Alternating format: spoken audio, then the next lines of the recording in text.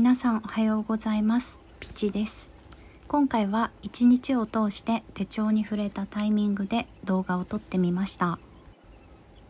まず寝起きの布団の中で手帳タイムです。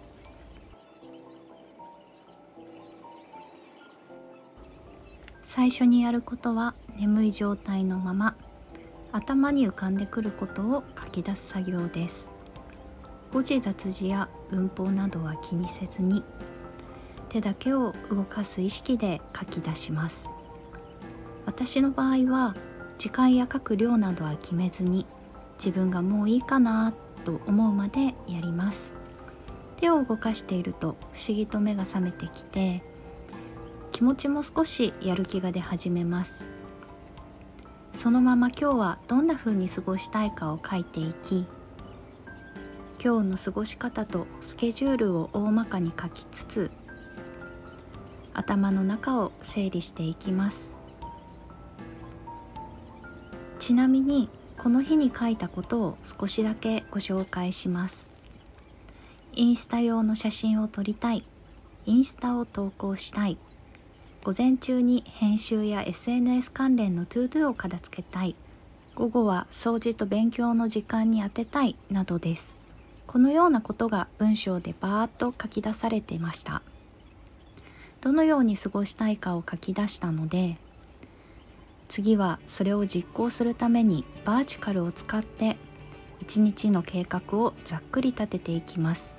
詰め込みすぎると予定が押した際にやりくりや軌道修正が大変になるのでガチガチに予定を入れすぎず余裕を持ってゆるりと計画していきます。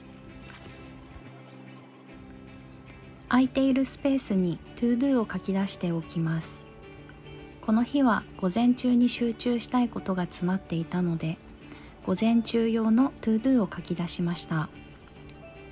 一日中頑張り続けると疲れてしまうのでこの日は午前中に集中午後は緩やかに。一日の中にメリハリをつけてみました。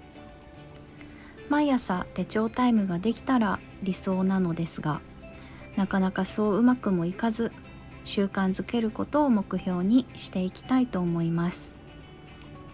朝にこの流れをやっていた冬は朝を気持ちよく迎えられていました。夏になってからこの習慣を手放してしまったのでまたコツコツと習慣づけていきたいです。朝の手帳タイムはこれにて終了です。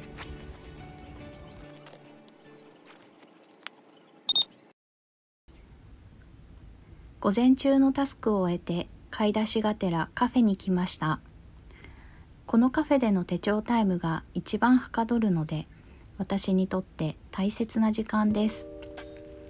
この日のカフェでやった内容については一つ前の動画で詳しく説明しているので気になった方は是非そちらも見ていただけると嬉しいです。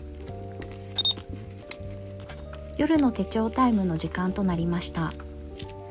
夜の手帳タイムでは1日の記録を家置き手帳に記録していきます。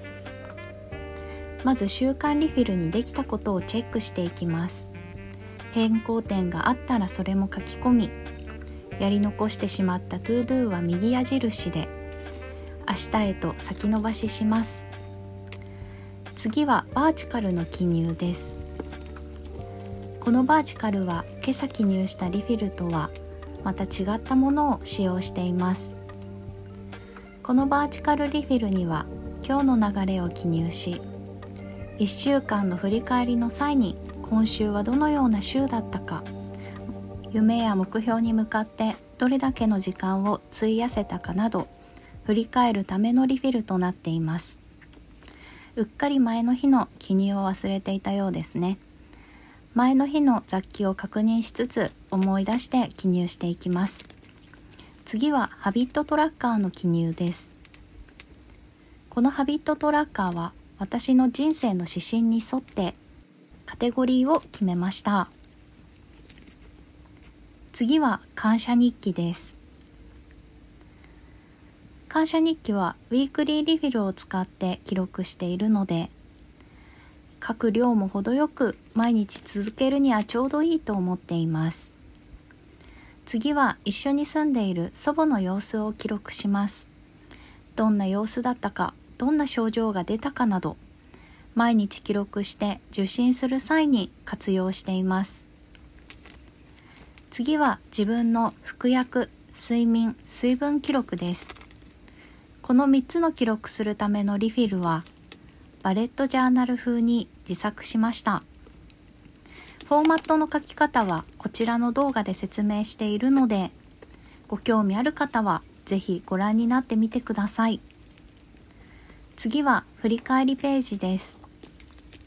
振り返りページにはその日一日を振り返ってできたこと反省嬉しかったこと残しておきたいことどれか一つを書いています。